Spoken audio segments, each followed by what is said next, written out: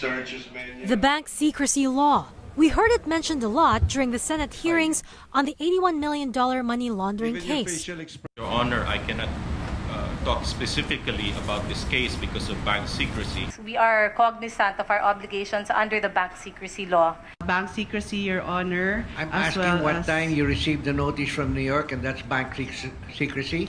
Yes, Your Honor. The law, also known as Republic Act No. 1405, prohibits disclosure of or inquiry into deposits with any banking institution. RCBC officials often cited this law to justify their refusal to disclose details of transactions in the alleged money laundering scheme, often leaving lawmakers and the public at a dead end. BSP Governor Amando Tetangco says he favors easing bank secrecy laws under certain conditions. prevention of this particular illegal activity of money laundering is being hampered by the very strict bank deposit secrecy law in the country. So for us to be able to, let's say, track the flow of funds really, we, we, we need that extra extra authority.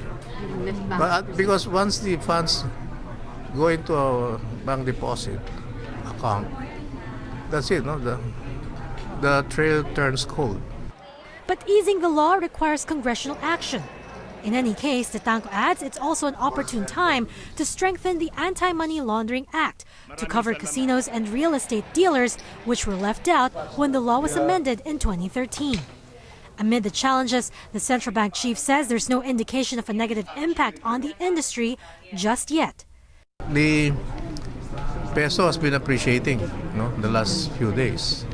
Uh, bond market steady.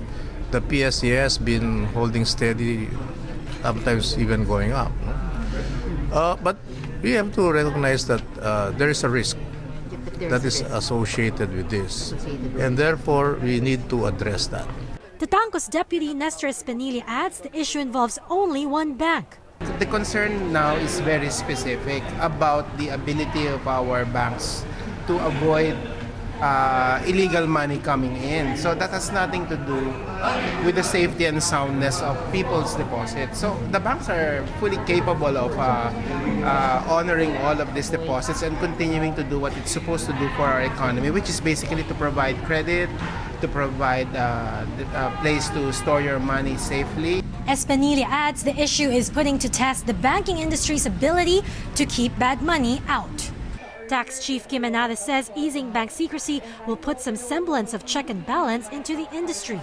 Hindi ko naman sinasabi bank secrecy law lifting to everyone. Ito lang ho, eh sa gobyerno lang ho, no? Kasi ang gobyerno may minomonitor. Kung krimen yan, di dapat nakikita ho yan, no? Kasi kung hindi, ang ginagawa lang ho natin, lahat na masasamang, lahat na negosyo na galing sa masama, pupunta dito sa Pilipinas kasi sa mundo, around the world, lifted na yung bank secrecy law eh, as far as taxation is concerned, as far as other things are concerned. No?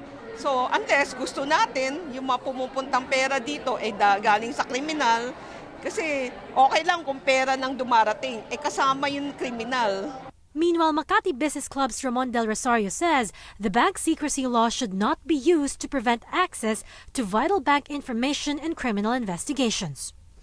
Michelle Long, ABS-CBN News.